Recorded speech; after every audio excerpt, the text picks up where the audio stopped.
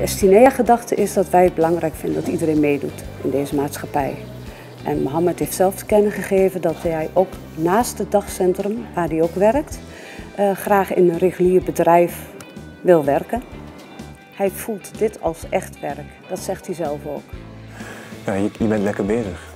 Je, kan ervaring mee opbouwen. En ja, nieuwe mensen leren kennen en uh, ja, ja, je, je, maakt ook steeds uh, veel dingen mee. Ja, nou op zich is dat niet erg. Wilt u een kop koffie? Ja, lekker. Dankjewel. Alsjeblieft. Lekker. Uh, mag wel een kopje thee. En uh, ja, je, je, ziet ook me mensen die, uh, ja, waar een compliment mee krijgen. je ziet er goed uit. Dankjewel. Ja, dat zeg ik ook, toch? Ja, je ook natuurlijk. Ja, dankjewel, dankjewel. Ik lust wel een lekker kopje koffie. Nou, dat doe je weer even goed als altijd. Dank u wel.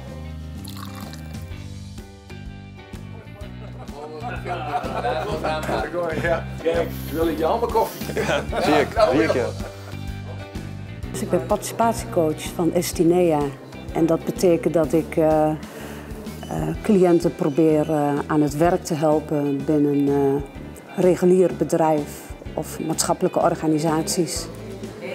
En dat zijn vaak cliënten die geen betaald werk doen. Ze hebben een dagbestedingsindicatie.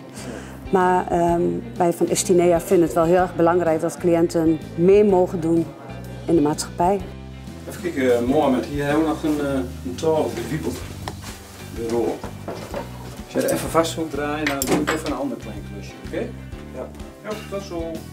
Hij uh, is heel zelfstandig geworden.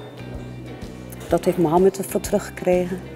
Hij heeft veel meer contacten gekregen. Hij, hij ja, hij is echt helemaal opgenomen hier bij de gemeente. Dat krijgt hij ervoor terug.